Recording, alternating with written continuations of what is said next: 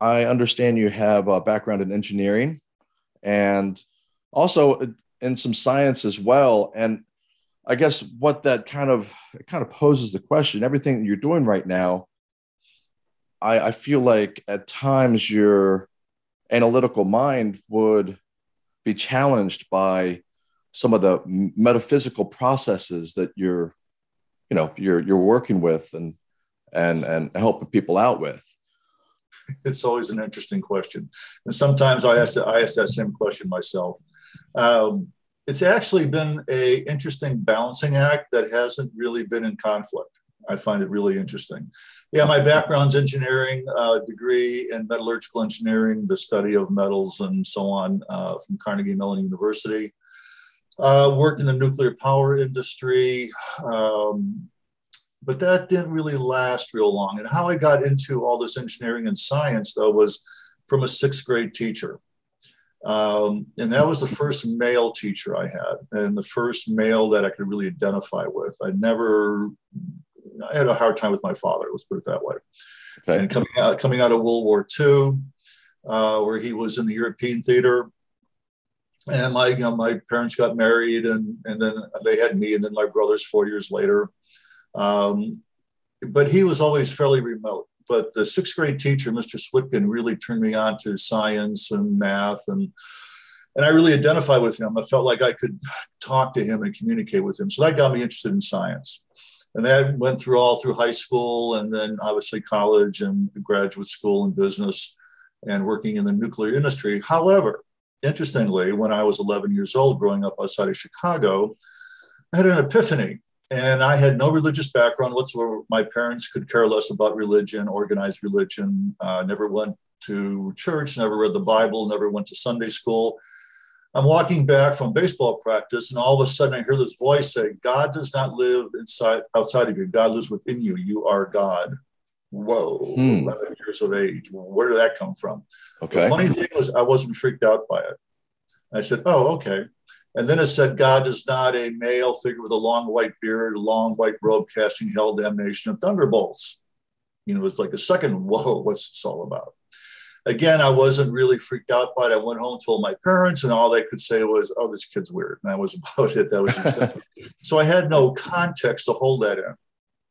So it was like my higher self was telling me at age 11, kind of prepping me for this whole notion of you know god does not live outside of you. There is not a god or in heaven and things like that but you are god. You're a part of god. I call it a godlet that we're all part of uh, we're all part of god. We're all from whatever you want to call god is. So okay. I had my first experience at 11 um, but also got involved in more of the left brain side with science and engineering uh, through college. And i didn't really get involved in the more spiritual side until my 30s However, I did realize uh, after a couple of years in the nuclear power industry that wasn't my calling, and uh, I went in all all odd things. I went into the Peace Corps, and uh, much to the chagrin of my parents and uncle, who didn't talk to me for years because he was so angry that I would give up my degrees uh, to go in the Peace Corps. Right. And I was in Botswana, Africa, and I loved it. It was a great experience being with a whole different culture. Um, whole different way of thinking, you know, being it was a brand new country. Botswana is right above South Africa. And when I was there, it was a fairly new country that had its own president, had a parliament, kind of combination of the British Commonwealth and the American system. And they were run by chiefs, and the chiefs ran the show. So that was a real eye opener for me. Hmm. Um, came back, got involved in politics, stayed in Washington, D.C., and uh, worked in the Congress, in the Senate, and a subcommittee. Uh, for a good while, eventually became a lobbyist in the area of education and computers and reading and things like that. Uh, formed a lobbying company, eventually ran a food nutrition nonprofit. So that was the one side of me. And but in this at the same time, uh, I was also deeply involved in the more spiritual side. Back starting in the 80s with the est training, Werner Erhard, if people want to remember who he was, he was like the big self help guru at the time. Uh, sold est training in 1986 to his employees. It became uh, the Forum, Landmark Education. Right. Uh, did work with that, and just you know, as you know, as I say, as you um, are ready, the teacher shows up. You know, so I had different teachers show up in the different realms. I worked with a woman out of San Diego who was called a walk-in. If you ever heard of the term walk-in, walk-in are individuals who decide that it's time to leave their body and go back into the spirit, but they leave their bodies intact. They don't pass on. And another soul enters the body. And there are a number of people around the world who are called walk ins. And so I met this woman named Ayanda. Uh, and that was my first experience of a walk in. And I actually saw a video uh, when the woman who decided to go into spirit um, and she was surrounded by her friends, and it was all videotaped. And you could see like this white flash of light emanate from her crown chakra. She slumped over, and then there was another light that came back in, and the body reanimated. Oh wow! So it shows you that you know we're you might say a lump of meat until we're animated by soul. And whenever that occurs, you know, there's a lot of different ideas about when does a soul enter the fetus. You know, right. is it at conception? Is it right before birth? Is it during the nine months? You know, it's all up to conjecture. There's no definite answer about that. But anyway, I saw, you know, in a way through a video of this woman, in a way, being reborn as another person, another woman with a different soul. And she also opened me up to channeling. Uh, it was the first time I saw or experienced channeling. She was channeling a Native American energy. Had never seen that before. That was in the early 90s uh, worked with her for a while. And then uh, I started working with what's called flower essences. You know, okay. may have heard of Bach remedies. Yes. Dr. Bach, who created the uh, whole flower essence industry back in the 1930s in Germany.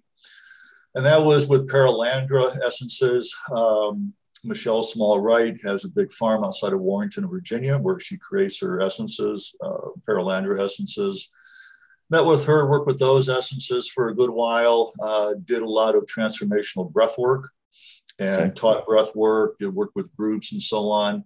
And then in the early 2000s, I met up with a woman named Sharon Hamilton, uh, who is a creator of another form of flower essences called light expression essences. And she and her husband have a farm outside of uh, Woodstock, Virginia, the other Woodstock, not the New York Woodstock. And okay. uh, she's been working with Essences for 30 years, and we became friends, a mentor, teacher. And I've been using her essences ever since for kind of like my daily uh, clearing, if you will. Hmm. Uh, her essences are very, very high vibration. She no longer uh, works with the physical flowers and plants and so on, but works with the energies of them through the devas and nature spirits and so on in the angelic realm. Quite an interesting okay. woman. Yeah. Um, so I progressed over time. And then in the meantime, I'm still doing my regular daytime work in Congress, lobbying, you know. That is so interesting. I mean, did you share with your colleagues, uh, you know, some of the work that no. you were doing? No.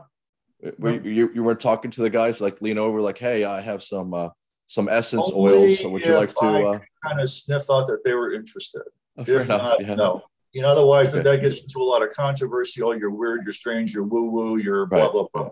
So I kept yeah. that separate, unless I felt that they were open to listening to me. So right. I was pretty careful about that. You know, Makes I was sense. out there, yeah. you know, blabbing away about my spiritual adventures and so on.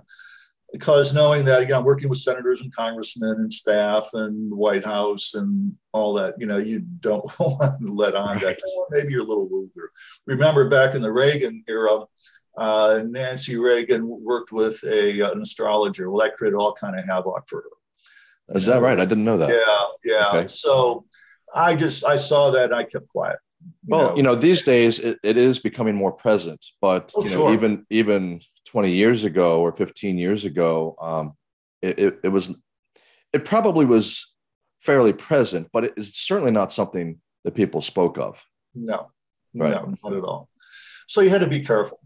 But there were people I knew in Congress and elsewhere, you know, who were involved in spiritual work. In fact, that's how I met Ayanda was through a friend of mine who worked in Congress. That was a colleague of mine. So you know, you kind of sniff out the energies. Right. And you got to be cautious and careful where you, you know, what you do and what you say. Otherwise, you know, you'll be out of there. You know, they're just right. You know, right. I remember if there was a senator, like that that dude's into crystals. Get rid of him. Yeah, well, or, or, whatever it might be, right? Yeah, there's a senator named Senator Claiborne Pell from Rhode Island, He okay. was the last of the old money, old patricians.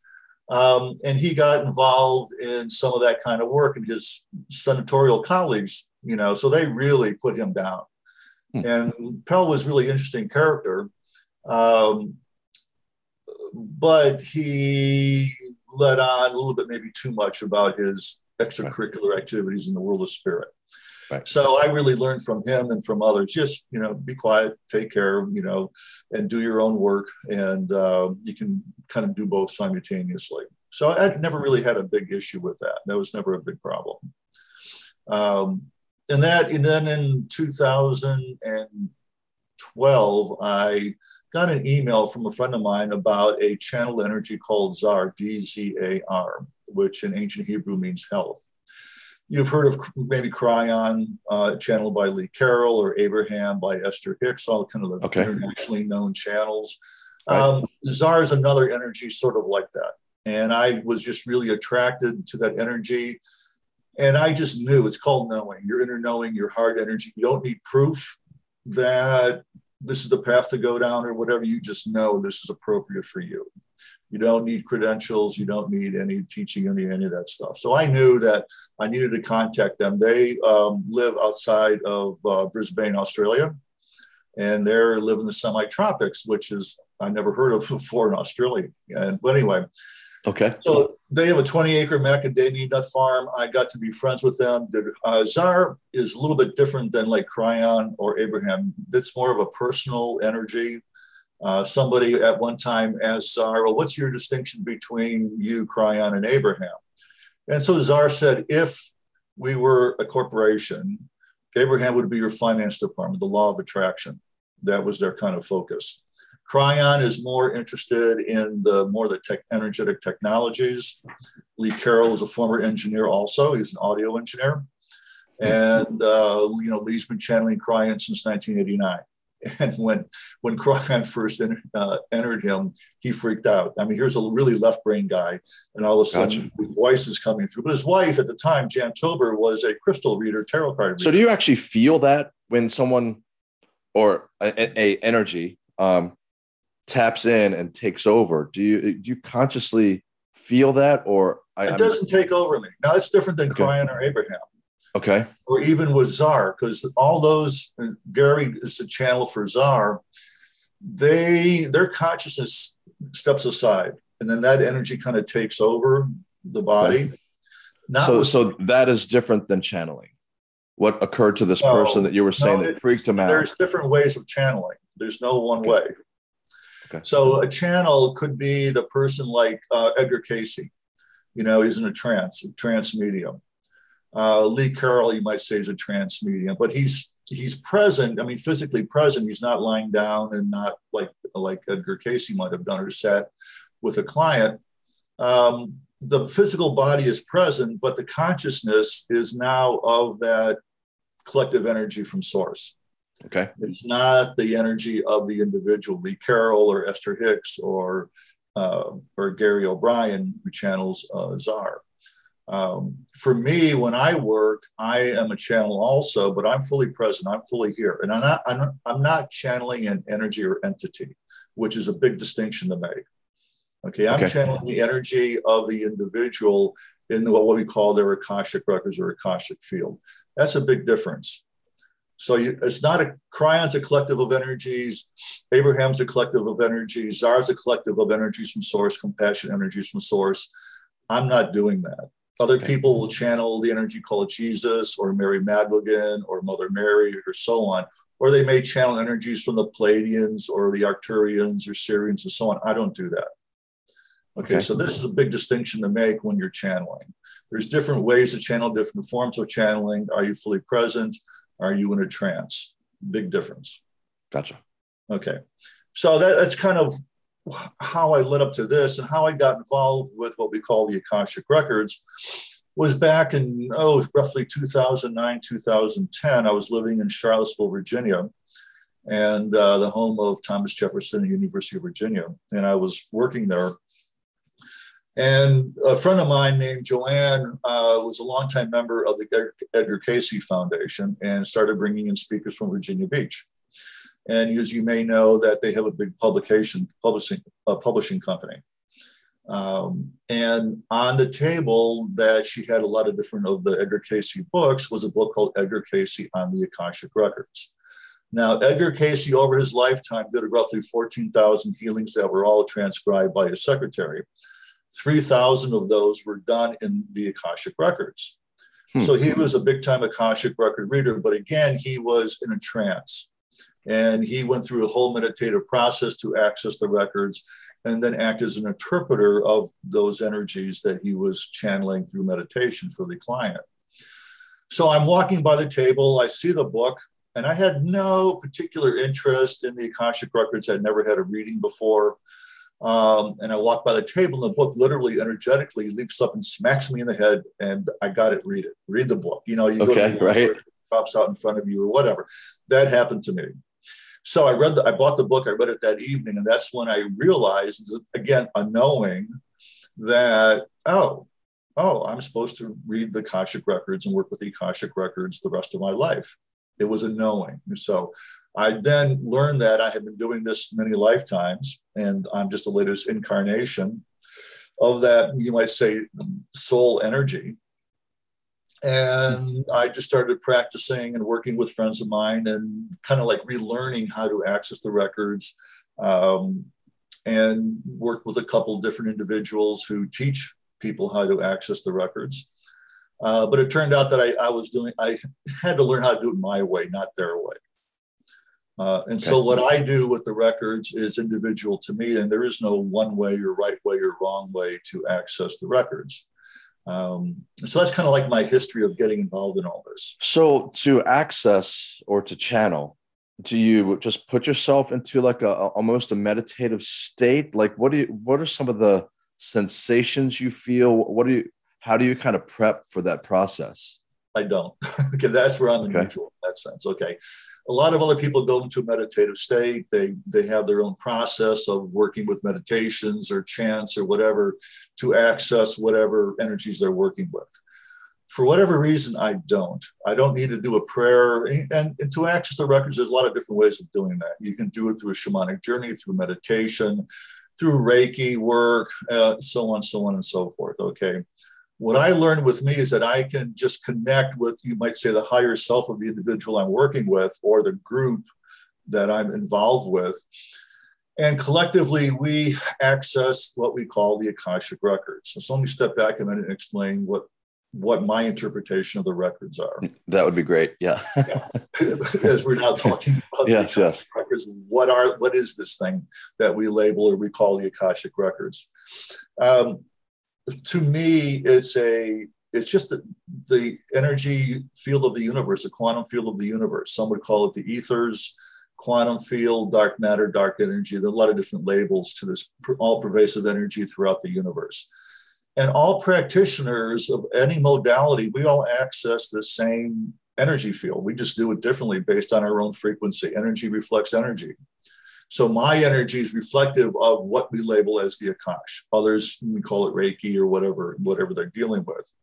There is no like a location of the Akash. It's not like you go 500 light years, make a right hand turn, and there's Reiki. If you make a left hand turn, there's Akash. No, okay. it's, it's just the field of energy. Um, some so it's, would it's say, all the, it's all the same. Yeah, it, it, it's to me, and from what I've seen and what I've learned, talking to a lot of other practitioners throughout my, my time doing this, we've all come to pretty much the same feeling that, you know, it, we all access this field of energy. Some would call it the realms of creation, some, like I said, the ethers or whatever you want to call that. Mm-hmm. Uh, Zar calls it the realms of creation, and there's different aspects of that energy. Uh, one aspect being what we call the Akash or all that knowledge. So the Akashic records, you might say, is an energetic memory or record of all your thoughts, actions, behaviors, patterns, feelings, judgments, opinions, and so on of every time you've incarnated. And that incarnation is not only on earth, but elsewhere. You know, a lot of times, a lot of us have been elsewhere also throughout the universe. So we can tap into this field of energy that, that we now label as the Akashic records to use for what we might call healing or clearing purposes. Your past, and let me see, your who you are in the present is a reflection of who you've been all the lifetimes that you've incarnated, along with your astrology and so on. Um, they're all useful tools. Astrology is a useful tool. Um, and I happen to focus with the Akash.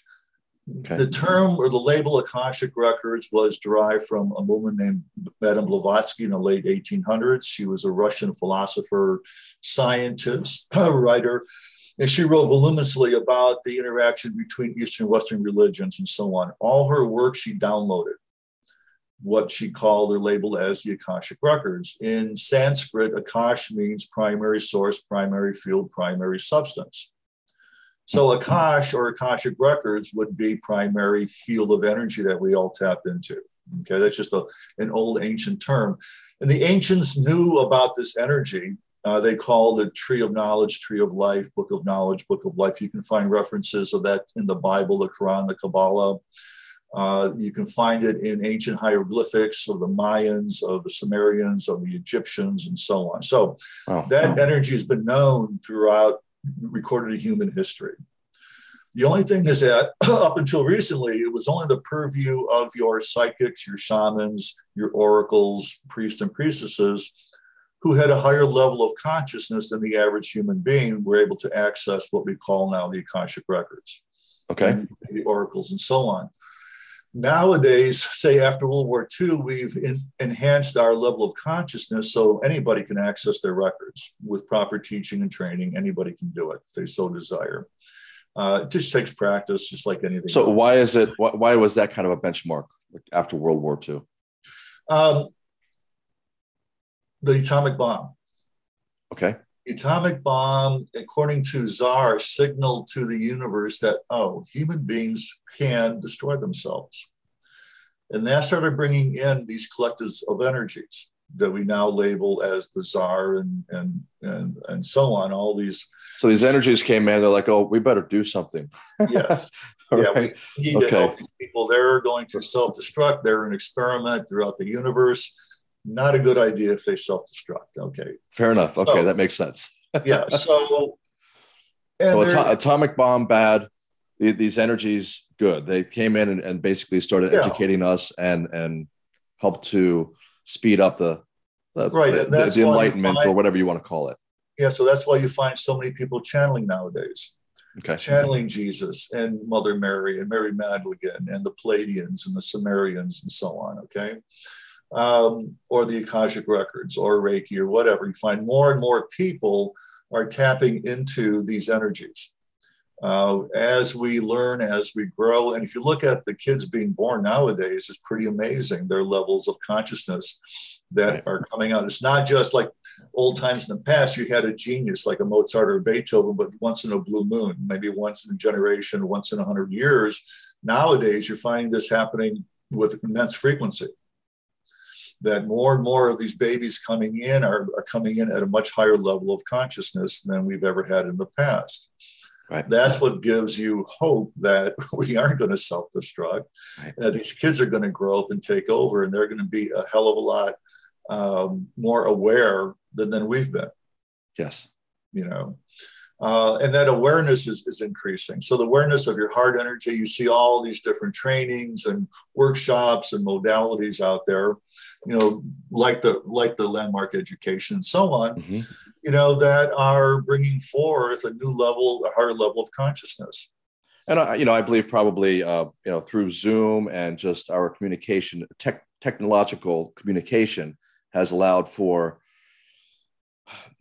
more comfortable verbalization of these these practices these un, maybe some would say unusual practices but they're because they're being um, expressed on a more regular basis across the globe they're starting to become a little bit more mainstream and more widely accepted on a much faster in a much faster way. Precisely. Yeah. precisely yeah. Yeah it is becoming more acceptable. Uh, you'll see it more and more in mainstream literature journalism things like that you know. Yes. Which you know, the question then well look at what's happening around the world you know wars and in all over the place you know and all the shootings and killings and you know the destructive climate change. And you know like australia has had horrible fires and now floods in eastern australia. Our you know our west is, is experiencing hyper drought. Uh, then you get the warfare you know in eastern europe and it goes on and on and on. But that's the news that you see right. News you know so fear sells. Yes. You know and what i see underneath all that is enormous shifts and changes in humans the human spirit heart energy consciousness and so on. I mean there's more and more people waking up that oh something's really missing here. You know something's not right. And you'll find more and more people that are getting involved in these kind of activities yes. and more and more people getting you know involved in the workshops and growing and learning and and just recognizing that hey we've got to wake up. There's something not working here something not not happening that is in our best interest so you'll, you're seeing an awakening happening. Like i mentioned with the kids coming in nowadays being birthed at a much higher level of consciousness than we've ever seen in the past. And you know it's it's a really to me really satisfying and hopeful energy and i don't pay a whole lot of attention to the news. I kind of follow it. I mean i used to read four or five newspapers a day when i was working on the hill. And now i don't yeah, yeah. I just kind of look at the news. And what's happening with me is that it's you know that the buddhists say that we live in a dream. Okay? And what that means, if you look at it from a psychological point of view, you've heard the term subconscious energy versus conscious energy. Mm-hmm. And what science has found is that we only use about 5 to 10% of our creative uh, capacity, conscious capacity of energies. The rest of 90, 95% is what we call the subconscious energies. Those are patterns and beliefs and thoughts and judgments and opinions that we carry lifetime after lifetime after lifetime. Right. You know, and so, what we're doing and what myself with the Akashic Records and many others are doing are, I call myself a collaborator, not a healer. I don't heal anything, but I collaborate with the individual and collaborate with them to help them identify subconscious patterns that are preventing them from being who they truly are. Now, there's an interesting story that's actually true um, that there was a monastery in Thailand. This was maybe 100 years ago or so or more, that had this beautiful golden Buddha statue, absolutely gorgeous, uh, made out of gold. However, they were under threat from the neighbors in what back then was Burma, and um, that these neighbors were in war, and they thought that the they would come and, and pilfer the Buddha, kill the monks, and so on. So what they did was that they plastered this golden Buddha in a really thick, like a foot thick of plaster, painted it.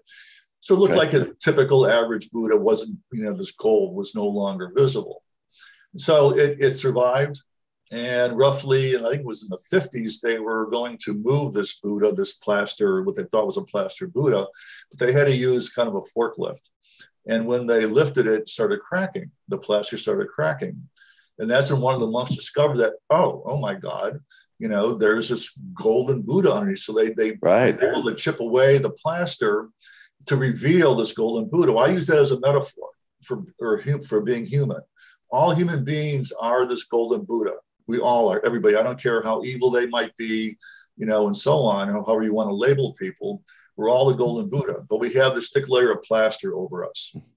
And so, how, what I see for myself working with the Akash is to help you chip away that plaster. So more and more and more of that golden Buddha shows up.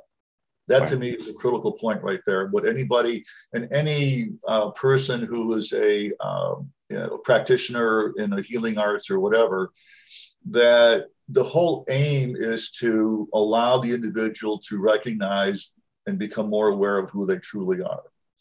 That we have all these subconscious patterns, we're driven by our subconscious patterns. And these patterns you know, typical example would be you get married, uh, things don't work out, you get a divorce, but then you marry the same personality but a different body. Right. Oops, what was I thinking? And I hear that all the time. what was I thinking? Well, that's old, old patterns, you know, that we carry lifetime after lifetime after lifetime. Or you're afraid of flying. Well, why are you afraid of flying? Well, that's past life stuff also. So we're governed, you know, and unknowingly or unaware that we're so governed by our past life judgments and opinions and thoughts and fears and behaviors and patterns, you know, that we're almost like, you know, the movie The Matrix, the, we're the Matrix in a way. Gotcha. You know? Um, and we really don't have a lot of free will.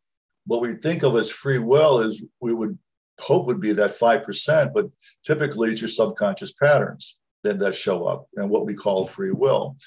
So it's to expand your ability to really access your free will, to access that golden Buddha deep within we call the true self, as opposed to your taught self, subconscious patterns, however, however you want to label that.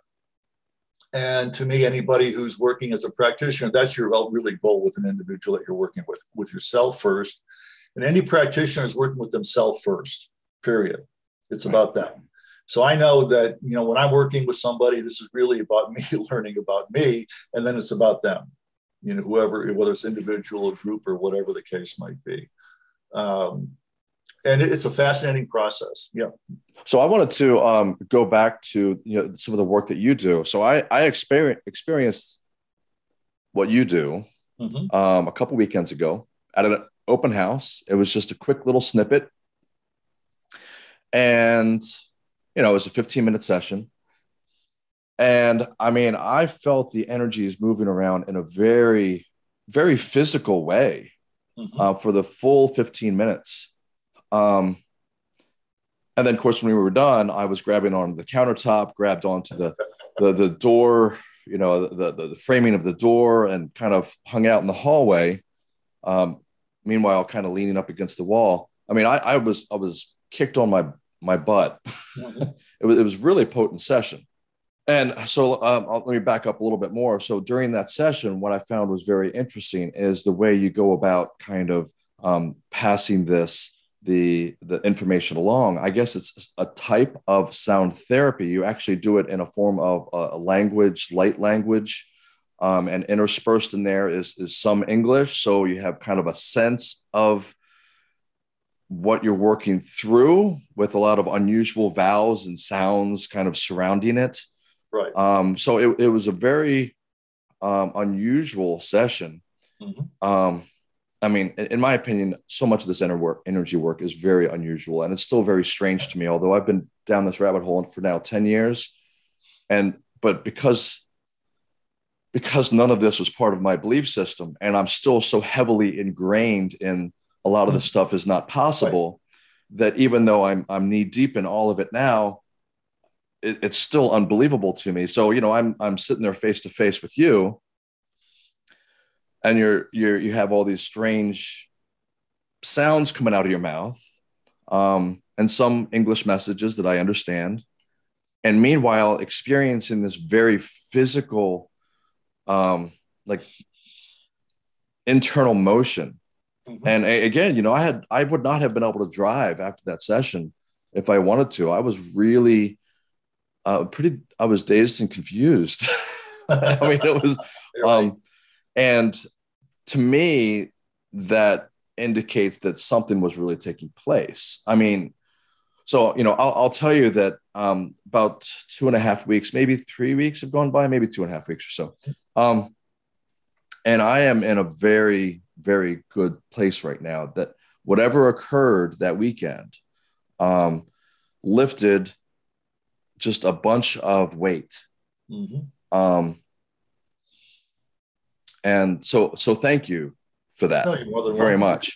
Um, but even if even if this shift it didn't occur to me the very fact that the physical experience that i was that was taking place um, without touch um,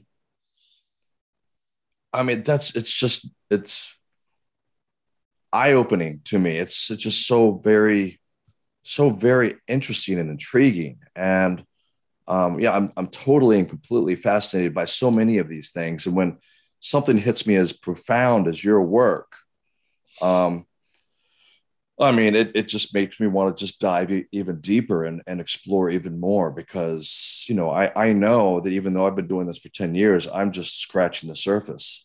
Mm-hmm. And and that's kind of part of what I'm doing. What I'm doing is because I do feel like I'm scratching the surface, and there's I, I want to present as much as I can to other people, and um, and I, I think it's very cool that you are very much you're very much left brain and right brained, and you know if I saw you on the street, I would not say, "Hey, this this dude's into oils or uh, you know um, crystals right. or woo woo or or any of that thing, and yet uh, you know uh, again what you do is is is very potent.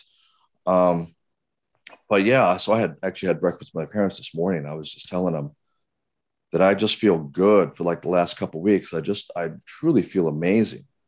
Um, and once again, thank you. That's yeah. Um, so I, don't wear a Dumbledore outfit.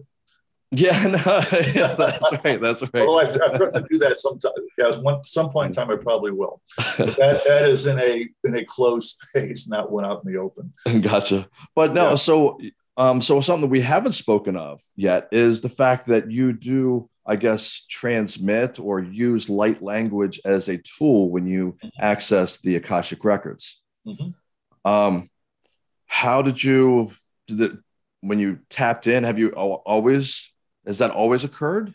Like the, when you tapped into Akashic records, did you then start speaking in this particular language, or is that something that you developed, or you know, why is that the way it is?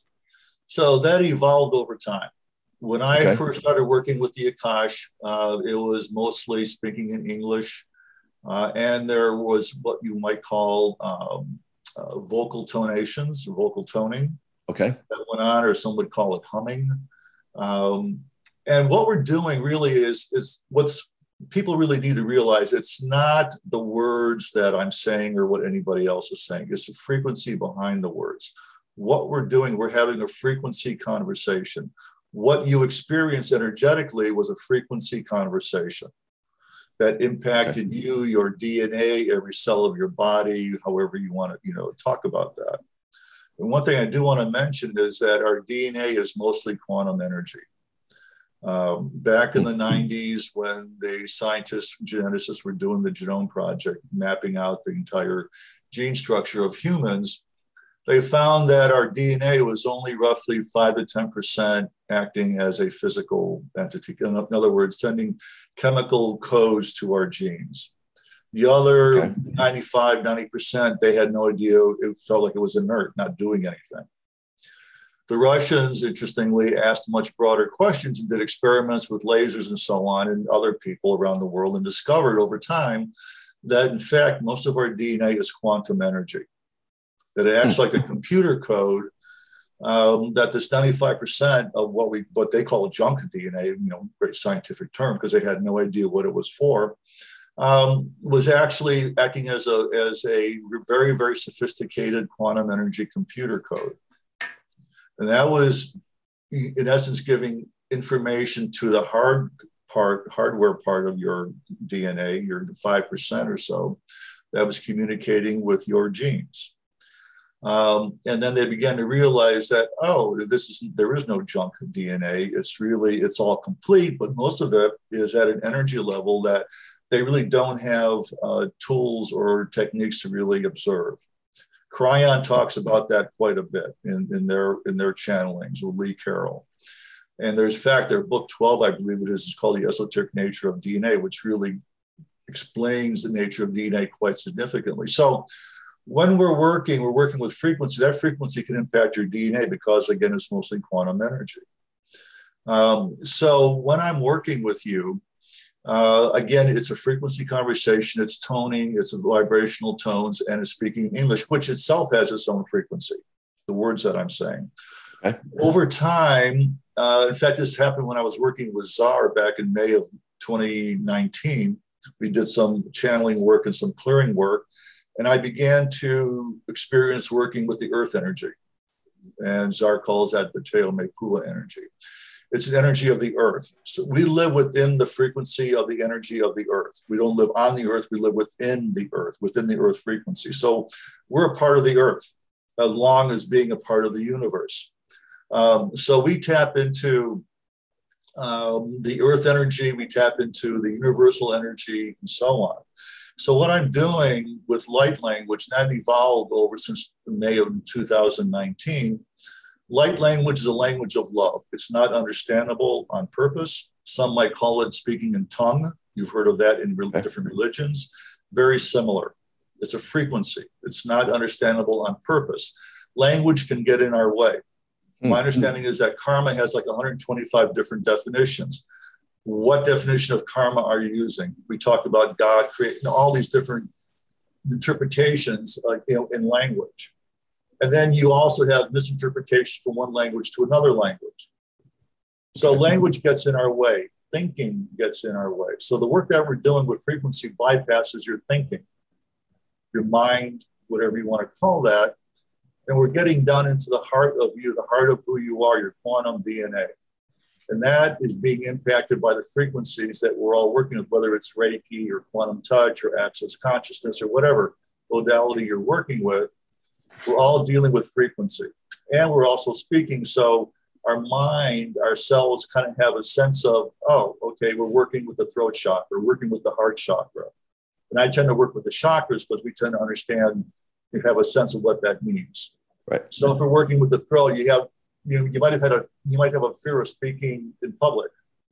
you well, that's an ancient fear from way back when, when you tried to express your truth, and what what happened? You were burnt at the stake. You were stoned. You know, whatever the case might be, out of fear. Out of so to, to, to, interject on that really quick. So we did go. We did a little work on the throat chakra for me. Yeah. And and so you know our, our session was on Saturday. My first interview for you know what it is I'm doing here um, was on Tuesday, and for the first time in you know I've been doing this for about two two and a half years. For the first time in two two and a half years, I was not nervous in front of the camera. Good. And and and every session after that, I just have not been nervous in front of the camera, mm-hmm. which allows me to actually speak my voice. Absolutely. And I, you know, it's it's been so freeing. So anyway, so what you said is accurate, and I experienced yeah. that. One one of a couple things I experienced. So anyway, yeah. go ahead. so so what we're doing, you know, when I work with you, I, I I'm a collaborator with you. As I mentioned a while back, that I collaborate with you, your essence, your higher self, and we together access your akashic field. I become an interpreter, and I become what we call a channel. But I said I'm fully present, I'm fully here. So as we're working, you know, I'm speaking English, so you have a sense of what's going on. Mm-hmm. And then at the same time, I'm, I'm expressing myself and these energies through what we call the light language, speaking in tongue, and also a, a vibrational frequency, so t- like toning or humming. So, how I've evolved is to use different tools and techniques to express your akashic field to you in a manner that's having an impact on your on your physicality, your emotional body, your mental body, your etheric body, your spiritual body, all these energy bodies that comprise you.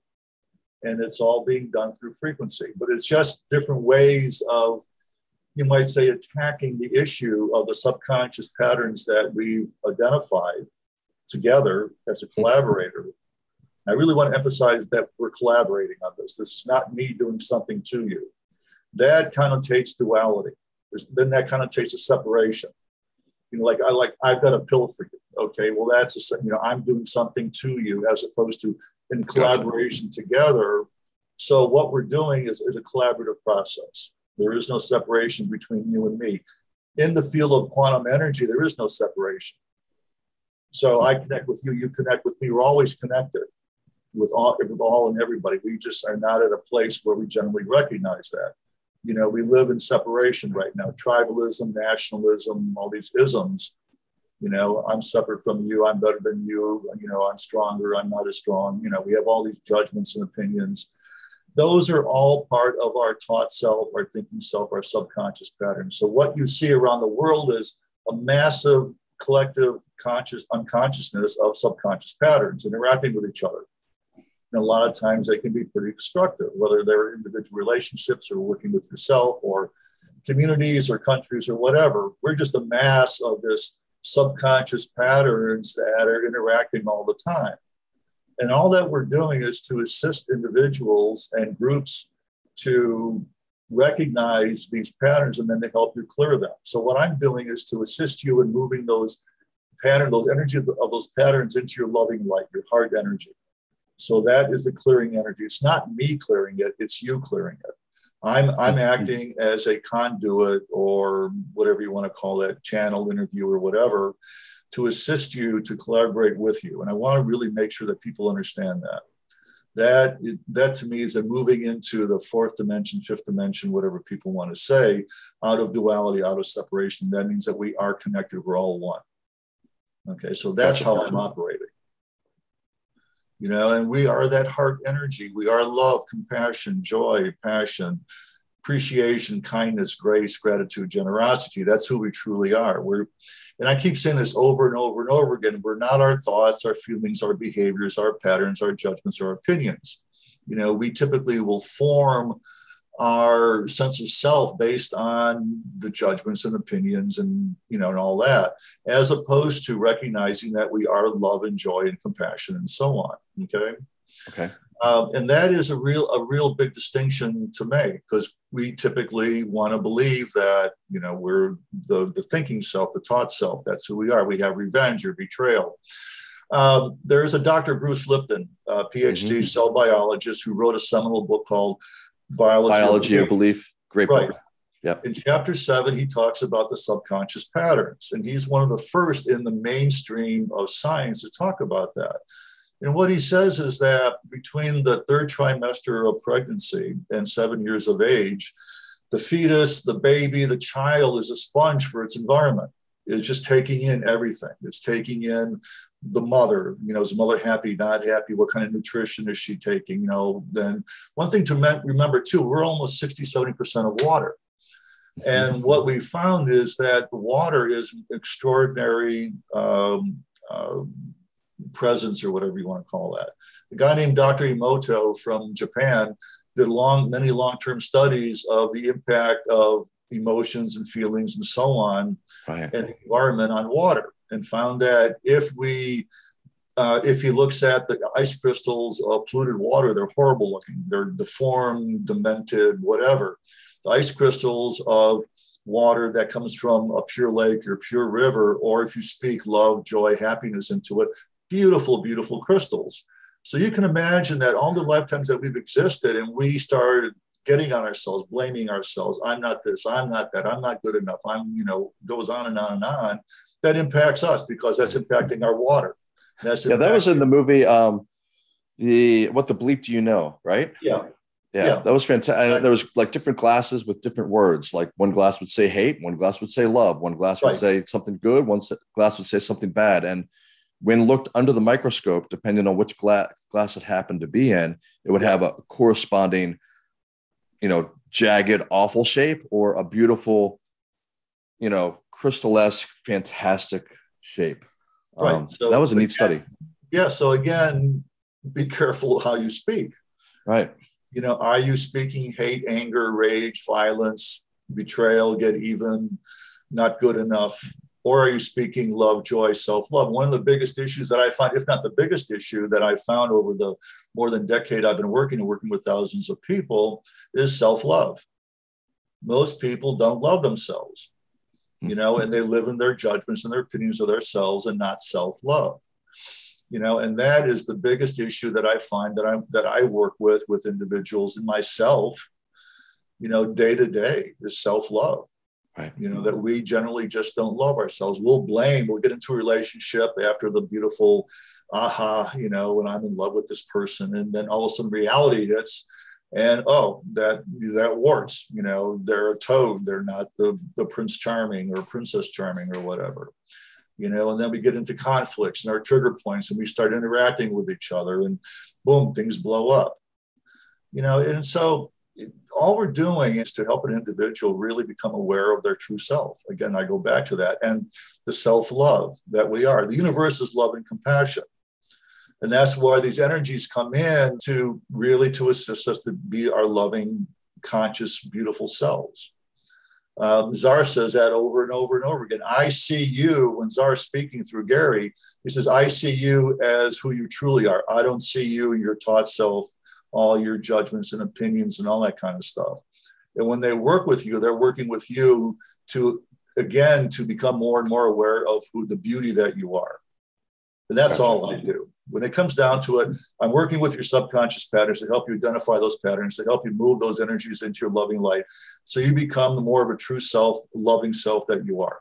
Well, I'd love to give, um, depending on, on your time, I'd love to give uh, the, the people a little sample of what it is you do and, and, and the way it sounds, you know, it, um, maybe demonstrate some of the, the light language through this, uh, you know, a short, maybe a five minute clearing. Sure. Would that be okay? Oh, absolutely. Awesome. Okay, great. Okay, so you hit the way hey hey me go I hit the hey wow. Hmm, hmm. Thank you, thank you, thank you, dear one.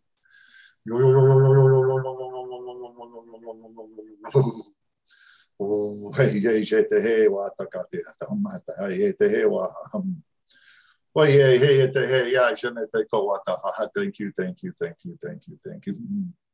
Yo, yo, yo, yo, yo, yo, yo, yo, yo, yo,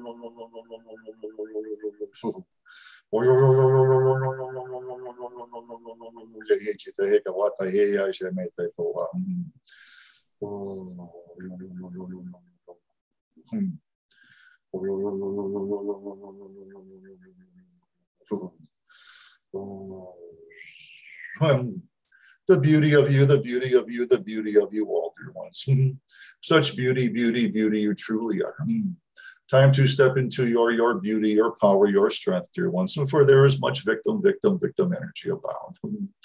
Victim, victim, victim, victim, victim. I am not this, I am not that. You are stronger than me, I am weaker than you over and over and over and over and over and over and over and over and over and over and over again through many, many lifetimes, giving your power away to another. They have your answers. They have my answers. I am not. I am not mm, smart enough, mm, aware enough to know my path, my joy, mm, what I'm here for this planet. Why am I here on this earth? With all this confusion and chaos and seemingly chaos. Hmm? Why am I here? Why am I here? Why am I here? Hmm, dear ones, you know the truth, you know the answers within you. Hmm? Time to empower yourselves to seek within, to empower yourselves to seek within, dear ones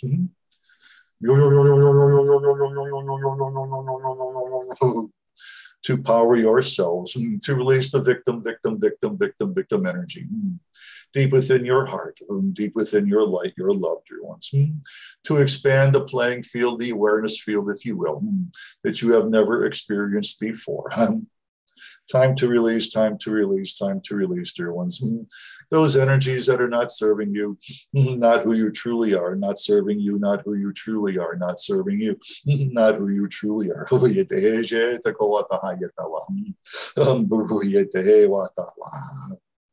breathing, breathing, breathing, breathing, breathing so deeply within, dear one, so deeply within. Time to breathe, time to breathe, time to breathe. Well, hey, hey, had to, hey, guys, had to breathing, breathing, breathing, breathing, breathing. In whatever manner works for you through your nose, through your mouth, it matters not. Um, to allow that beautiful breath of life to flow through every cell of your body, your cellular memories. To allow Mother Earth, Mother Nature guide to support you on your journey, on your path, on your way. Um, to allow, dear one, to allow to open your heart to the earth, and to the universal energies of love and compassion from all that is, dear one. For you live within the earth's energy, not just upon her, but within her energy, dear one. You are part of the earth, you are part of the universe. There is no separation. You are the expression of all that is in human form, whether you are female or male or however you identify your gender. It matters not, dear ones, it matters not. Um, for throughout your many, many lifetimes, you have been the expression of all genders.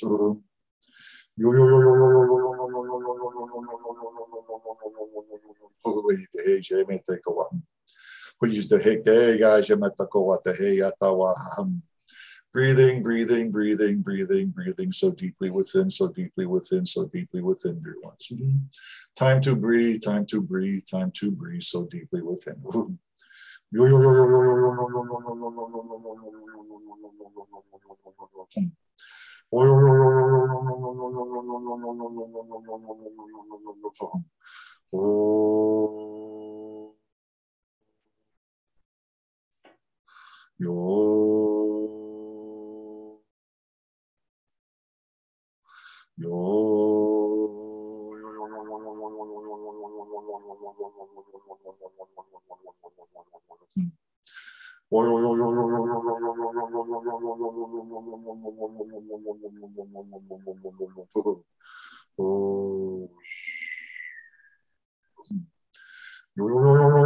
يتهيت يتهيت يتوتكيش متكو يتهيت واتا Breathing, breathing, breathing, breathing, breathing, breathing, breathing, breathing, breathing. Time to open your breath, dear one. Hmm.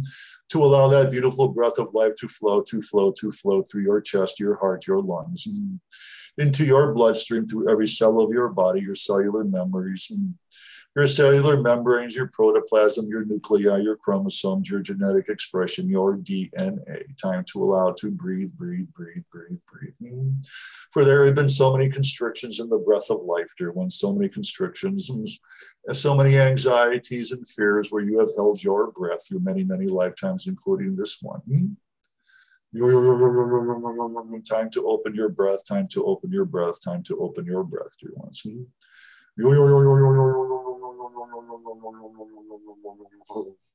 Breathing, breathing, breathing, breathing, breathing. We cannot emphasize enough to, to allow that beautiful breath of life to flow, flow, flow, flow, flow. Hmm. In whatever manner you choose, your choice, dear ones. Hmm. Time to choose for yourself. Hmm. Time to open your third eyes, your dear ones. Your pineal gland, what humans call the pineal gland to open your insight into yourself, your intuitive self, the knowing of who you truly are. Time to allow your knowing, dear ones, your knowings to expand. Not just your thinking, your taught self, your brain, your mind, dear one, but your heart energy. Hmm. For there are so many constrictions deep within your heart your heart, your heart, your heart, dear ones. Hmm. So many energetic constrictions deep within your heart chakra hmm. The fear, the trauma, the pain, the sorrow, the sadness through all the lifetimes you have lived, including this one. Of separation, of, of abandonment, of pain, sorrow, sadness, dear ones.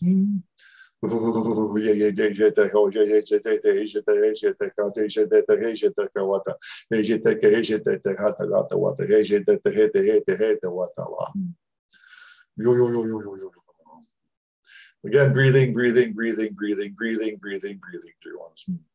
Such beautiful souls you truly are. Hmm. So many beautiful beings of light are supporting you, loving you on your journey, on your path, on your way. Hmm. Time to open your heart to yourself, to love, love, love, love you, dear one, to love yourself so fully, so wholly, so completely. So beautiful souls you are. Time to step into your awesomeness, your magnificence, dear one. And we thank you, we bless you on your journey, on your path, on your way, and we are complete. Thank you, thank you, thank you.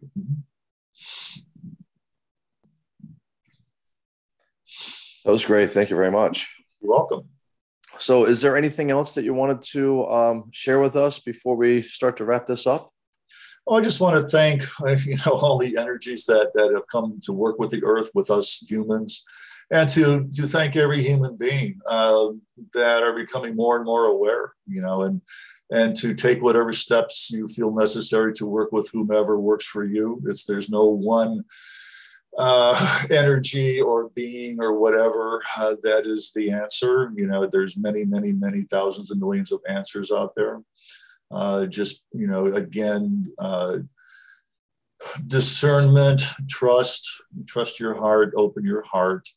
Um, but really, it's it's a message of love you know, it's, it's really time that we love ourselves. And however you go about doing that, uh, to open yourself, uh, whatever works for you. And I just bless you and honor you and thank you. And thank you, Loren. I appreciate your time and effort and what you're doing to spread the word. Uh, we need more of that. And thank you, everybody who will be listening uh, to this. And bless you and honor you. And uh, take care.